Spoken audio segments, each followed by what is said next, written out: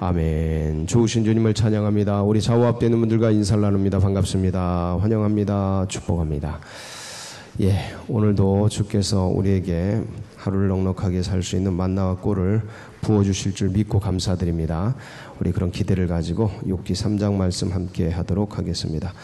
어, 욕기 3장은 1장, 2장은 어, 산문체입니다. 설명체, 소설이나 수필을 쓰듯이 이렇게 설명체로 쓰는 겁니다. 이제부터는 어, 욕기 3장은 시체, 시, 고시조체. 그러니까 문학 양식이 다른 거죠. 하나는 설명체, 이거는 시체, 시. 그래서 어, 요거는 이제 탄식 시 같이 고백하는 그런 시입니다. 내용이 뭡니까? 욥의 탄식입니다. 뭘 탄식해요? 예, 생일을 저주하고 자기가 어, 낙태되었으면 좋았겠다. 그리고 어, 빨리 죽었으면 좋겠다. 그런 내용입니다. 예, 1절부터 10절까지는 자기 생일에 대한 저주입니다. 왜 그날이 있었는지, 왜 어머니가 나를 태해서 잉태하였는지, 그때가 캄캄했더라면, 어, 어둠과 죽음의 그날이 그, 그늘이 그날을 주장했더라면 뭐 죽었더라면 이런 소리죠. 그날이 없었더라면 그러니까 전부 그런 내용이에요. 그거를 시 형체로 반복적으로 계속해서 감성적으로 써내려간 겁니다. 그래서 결론은 뭐냐면 아 죽었으면 좋겠다라는 그런 고백입니다. 어, 이제 이것을 보면 이걸 어떻게 볼 건가요? 이 욥의 탄식을 어떻게 볼 건가에 따라서 이제 내일부터 전개되는 이제 친구들의 이야기를 우리가 볼 수 있는 관점을 얻습니다. 관점.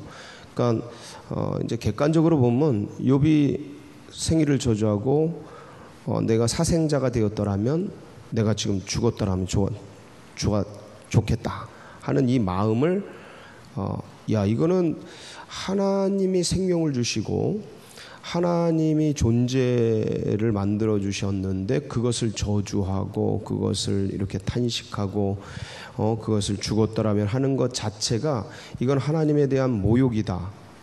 이건 하나님을 어 이거는 어 원망하는 거다. 이건 하나님께 불평하는 거다. 이렇게 보면 이제 내일부터 시작되는 엘리바스의 권고가 나오는 거예요. 그건 딱 엘리바스 그다음에 빌다 소발처럼 보는 거예요. 어? 이게 감히 하나님이 생명 주셨는데 지 잘못 생각 못 하고 하나님 원망하네?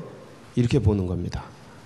그러면 이제 내일부터 이제 신랄하게 이제 엘리바스가 어 이게 정신 못 차리고 어 엘리바스는 제일 연장자거든요.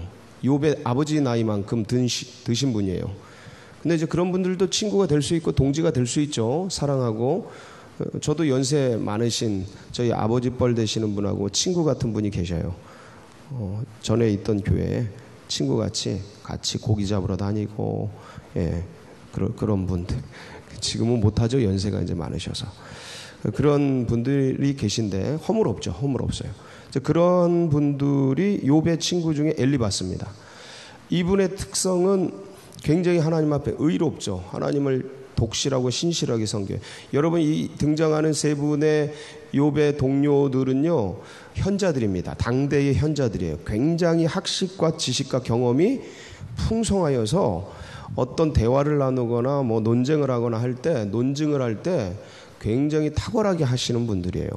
욥이 탁월한 분이기 때문에 욥이 욥이 동방의 제일 큰 자기 때문에 재산적으로도 지식적으로도 인격적으로도 그러한 분들이 동지가 되는 거죠.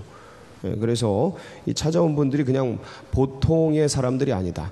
근데 엘리바스는 연장자, 제일 나이가 연세가 많으셔요. 그래서 연장자 순으로 나오는데 이 제일 나이가 연세가 많으시니까 이분은 어떻게 이야기를 하냐면 이 욥의 탄식을 듣고 어, 이놈의 자식이 어린 놈의 자식이 하나님 원망하네. 이제 하나님에 대한 그 열정과 제가 엘리바스의 마음도 알아요.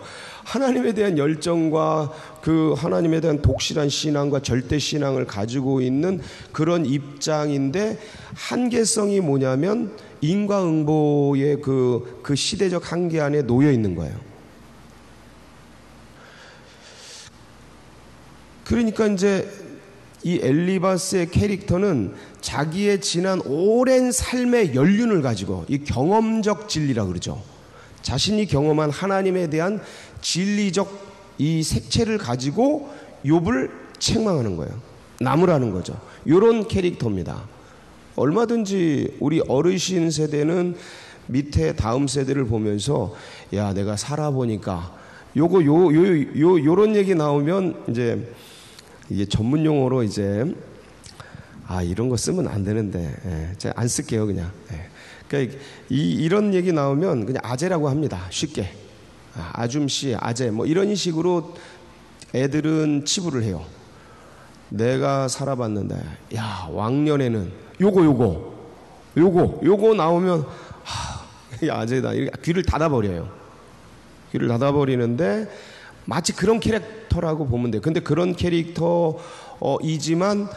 그렇게 그냥 뭐 이렇게 좀 막 하는 사람이 아니고 인격이 훌륭해서 어 좀 그런 아주 영적인 또 경험적인 이 시대적인 어 체험들을 많이 하셔서 그 농축된 경험을 가지고 할아버지 할머니들 지나가는 어르신들은 도서관 한 채가 지나간다라고 말하지 않습니까? 그분들의 경험과 일생에 산 그 체험들의 내용들을 그 도서관 한 채가 지나간다라는 그런 능 경험적 능력을 가지고 욥이 당하는 이 일들 욥이 이렇게 원망하잖아요. 이거는 뭐 누구를 원망하는 거예요, 결국. 자기 저 생일과 자기가 태어난 것에 대해 그리고 빨리 죽었으면 좋겠다. 이거는 누구를 원망하는 거예요? 실제적으로 보세요. 마지막에 23절 같은 거 보면 예, 오늘 말씀 23절 보면 하나님에게 둘러싸여 길이 아득한 사람에게 어찌하여 빛을 주셨는 거. 이거 지금 누구에게 원망하는 것 같은 거예요? 하나 당연히 하나님. 이거 그냥 보면 문자 그대로는 그냥 하나님입니다. 하나님을 타겟팅해서 원망하는 것 같은 거예요. 내 생일 저주하고 내가 사생자가 됐어야 되는데 왜 태어나게 하셔서 나 죽었으면 좋겠는데 왜 지금 붙들고 계셔서 이런 미친 듯한 괴로움을 경험하게 하는 거 어, 하면서 하나님을 향해 원망하는 듯이 보이니까 이 얘기를 들은 이 경험 많은 엘리바스가 자기의 인생 경험을 가지고 이놈의 자식이 어린 놈의 자식이 어디 다 산 것처럼 내가 인생 살아봤는데 이놈아 하나님은 죄 없이 절대로 형벌하지 않으시고 어, 악 없이 어떻게 하나님께서 고난을 주시고 고통을 주시는가? 정신 차려 이 친구야. 이 젊은 사람이 이게 얼마나 살았다고 고난이 좀 아프다고 어떻게 하나님 원망해? 이 자식이 그냥 팍. 이런 식으로 이제 얘기하는 거예요. 틀린 말이 아니죠 근데 뭔가 문제 있지 않아요? 요런 겁니다. 요게 그래서 어려운 거예요. 요게 그냥 쉽게 잡히질 않는 겁니다. 어, 뭔가 맞는 말 같은데 이상하다. 지금 욥은 지금 뭐를 해줘야 돼요? 그거죠, 그거. 욥이 내뱉는 말을 제가 그러는 거예요. 지금 이 3장을 어떻게 보느냐에 따라서 완전히 달라진다. 이 욥이 내뱉는 이 탄식을 불평과 원망과 하나님을 향한 저주와 어, 어 이런 거로 보느냐 아니면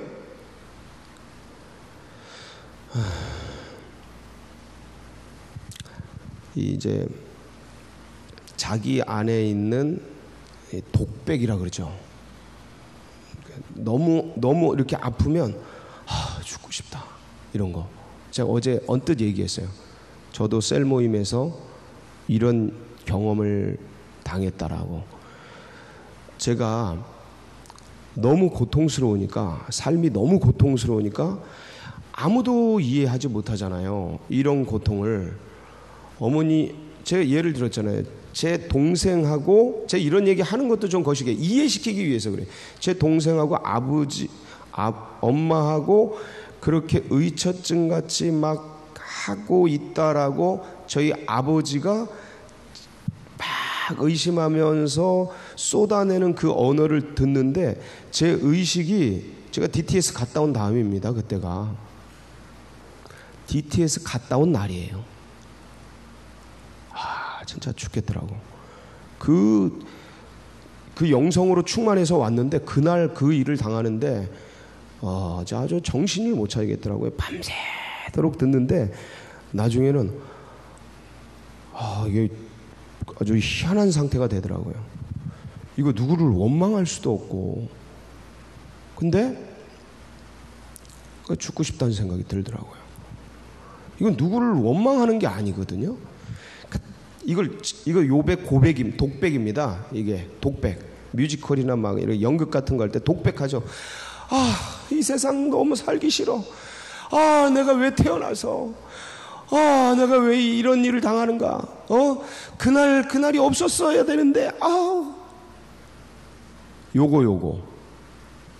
이거를 이제 어, 이런 독백과 탄식을 어떻게 받느냐? 야, 제가 하나님 원망하는구나. 제가 어? 자살하려고 그러는구나. 제가 죽음을 동경하는구나. 아이고, 이렇게 어, 인식하느냐? 아니면 어, 이 상, 너무 큰 상처를 입은 사람의 탄식으로, 어, 그냥 고백으로 그렇게 보면서 어, 셀 모임에서 이제 그런 얘기를 그런 얘기를 다 못하죠. 근데 아, 너무 괴롭다고, 너무 힘들다고, 너무 아프다고 얘기를 하는데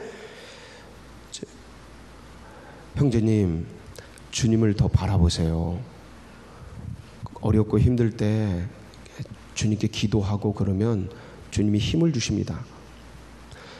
그런 정답을 들으려고 얘기를 하는 게 아니거든요. 그건 니네보다 더 잘하거든요.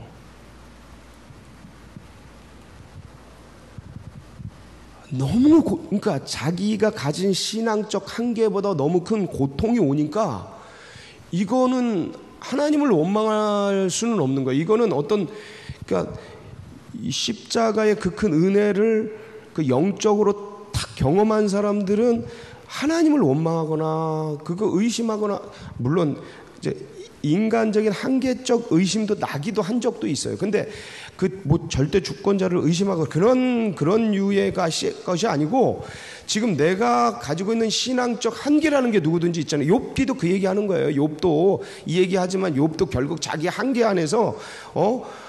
어, 자기의 그, 그런 거 한계를 이제 더 넓힌다고요. 그렇지만 저도 제 한계가 있잖아요. 그 한계에서 하나님을 긍정하고 하나님을 예배하고 하나님을 신앙하며 가지만 이 한계를 넘는 고통이 있다고요. 왜 무게라는 게 내가 견딜 수 있는 무게가 있잖아요. 신앙도 자기의 믿음이 수준이 있고 그거보다 더 큰 고통이 온다 있, 있다고요. 그게 와버리면 그걸 처음에 당할 때는 지금 안 당한 사람들은 몰라요. 이 얘기가 이건 몰라 아무리 얘기를 해도 그냥 이론적으로 듣는 거지. 근데 그 넘는 고통이 와버리면 불 불가해 이해가 안 되는 거죠. 납득이 안 되고 그러면 이거 그냥 탄식이 나오는 거야. 아, 이런 날이 없었으면 좋겠다. 그냥 사라졌으면 좋. 제가 제가 아 그냥 사라졌으면 좋겠다. 누구를 어떻게 원망할 수도 없고 그냥 아, 없어졌으면 좋겠다. 여기 존재하지 않았으면 좋겠다. 이런 생각 막 꽤 했죠. 자, 그걸 견디고 견디고 견디고 지나오면 그때 그 시간을 왜 줬는지 이해가 되고 이제 해석이 되는데 그때는 캄캄함밖에 없는 거죠. 캄캄함. 이제 이걸 어떻게 보느냐요.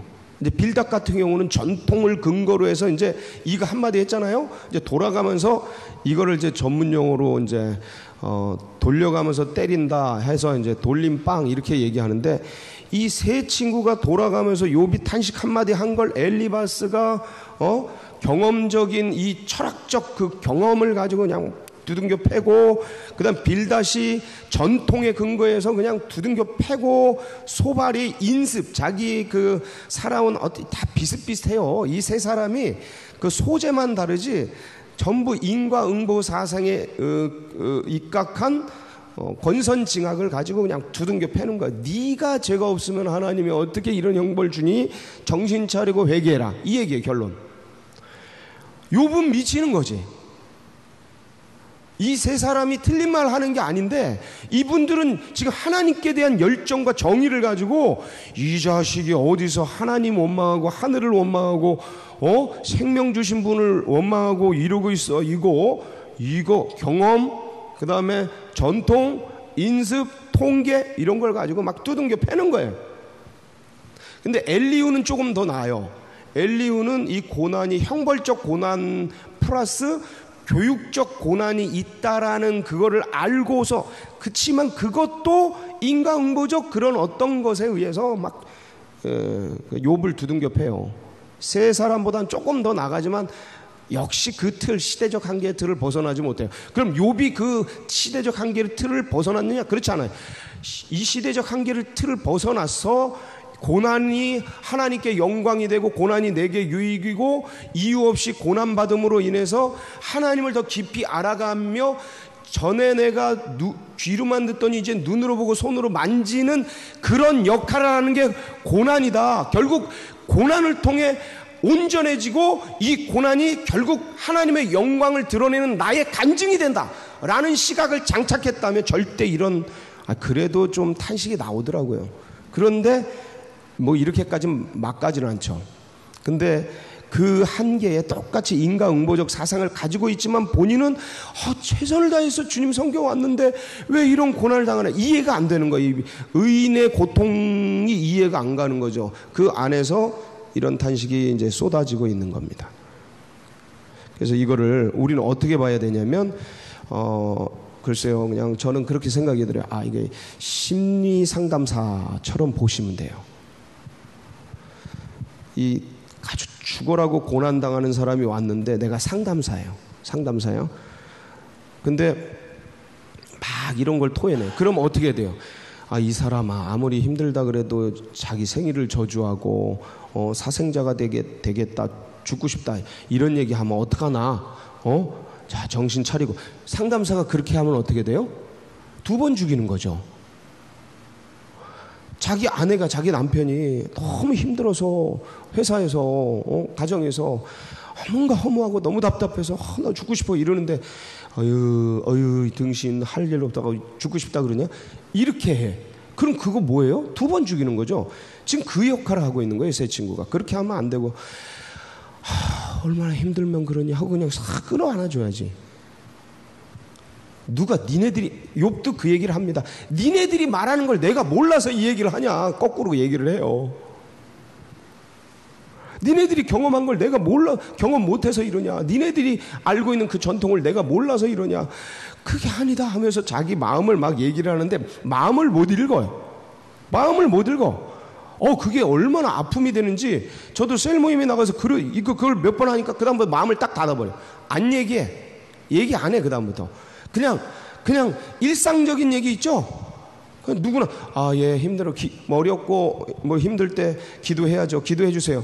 뭐 이런 것만 나누지 마음을 안 나눠 마음. 지금 마음 나누는 건데 욥이 이걸 누굴 뭐 원망하고 그러는 게 아니고 자기 마음을 나누는 거란 말이에요. 이때 이 소발과 이 엘리바사 세 친구가 다 끌어안고 형제 우린 다 알지 못하지만 이것이 이 고난이 아픔이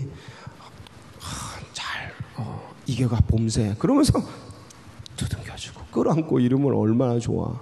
근데 그게 아니고 하나님께 대한 특심함과 열심을 가졌던 이 세 분이 위로한다고 하는 그 이야기들이 이제 욥을 죽이는 어, 욥을 돌려가면서 찍어 누르는 이야기들이 내일부터 전개가 됩니다.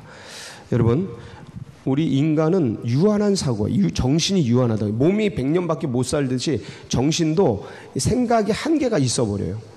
생계가 한계가 유치 유치원 애들 유치원 애들 사고가 있고 중고등학교 애들 아무리 의료원 것처럼 사춘기를 지내도 중고등학교의 그 사고의 정체 한계가 있잖아요. 그렇죠? 대학생들은 대학생들 나름대로 그런 것처럼 인간은 인간 자체가 가진 한계가 있어요. 그걸 가지고 무한하신 하나님의 섭리와 경륜을 판단한다. 이거 하지 말라라는 메시지가 여기 들어가 있는 것 중에 하나입니다. 어, 그런 것 중에 하나예요. 그러니까 어떻게 개가 아무리 개가 친해도 같이 있는 집안의 애완견이 친해도 얘가 인간을 판단하겠어요. 인간의 사고와 생각을 어찌 이 개가 다 알 수 있겠어요? 고양이가 어찌 다 불가능하죠. 아무리 똑똑하고 아무리 지혜로운 고양이고 강아지라 할지라도 그러니까 그런 이야기예요. 메뚜기가 아무리 탁월해도 어떻게 인간의 그 세계와 이런 것들을 지가 다 판단하겠어요? 이꼭 그- 딱 그렇게 보면 돼요. 아무리 애가 똑똑하고 지혜롭다 해도 세 살 때 율곡 이이가 시를 썼다며요. 그 아무리 똑똑한 아이라 하더라도 그 애가 어떻게 인생 전체를 다 알 수 있겠습니까? 이 얘기예요, 지금. 이 얘기. 나중에 하나님이 책망하는 게 욥을 책망하는 이 가르침이라고 제가 말했는데 욥에게 막 쏟아내는 하나님의 말씀이 고 얘기예요, 고 얘기. 요 얘기 지금 말한. 네가 지금 뭐 태초에 어, 기초를 놓을 때 보았느냐? 요 얘기. 그런 이야기인데 어, 그래서 이런 것들을 우리가 이제 가슴에 이해를 가지고 이제 세상에 또 우리가 나가지 않겠습니까? 가정으로, 직장으로, 사업장으로 또 이제 캠퍼스로 나가는데 그 어디에 있든지 우리가 어떤 사람을 판단하거나 정죄하는 가르치지 말자. 가르치지 말자. 집안에서 맨날 싸우는 이유가 뭐예요? 부부끼리 가르치려고 그래서 가르치려고. 제가 수없이 어, 제 안에 내장됐던 본능적으로 내장됐던 그런 것 누군가를 가르치려고 하는 이게 이게 결코 좋은 게 아니에요. 그냥 사랑하세요. 진짜 가르침은 뭐다? 아는 걸 설명하고 경험을 설명하는 게 아니고 사랑해 주는 거예요. 품어 주는 거. 제일 큰 가르침이더라. 그러니까 주님이 그렇게 하신 거예요, 주님이. 죄를 다 끌어안고 알지도 못할 그때. 그러니까 그 사랑을 아니까 너무 은혜롭잖아요. 근데 그 사랑을 경험한 우리는 가르치려고 그래. 그러니까 이걸 놔라 좀. 어, 이걸 좀 던져. 이걸 놔. 그럼 거기에 그 여백 속에서 은혜와 사랑 속에서 진짜 배울 걸 배우고 익힐 걸 익히더라. 요배 이 탄식을 그렇게 받는. 그리고 옆에 고난당하는 자가 있으면 우리도 품어주고 안아주는 그런 하루 되시길 주의 이름으로 축원합니다. 같이 기도하시겠습니다.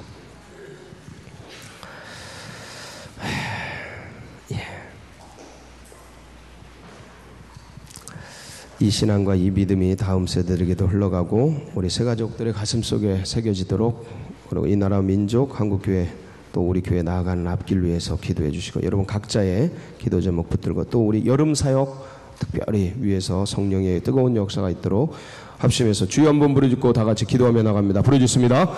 주여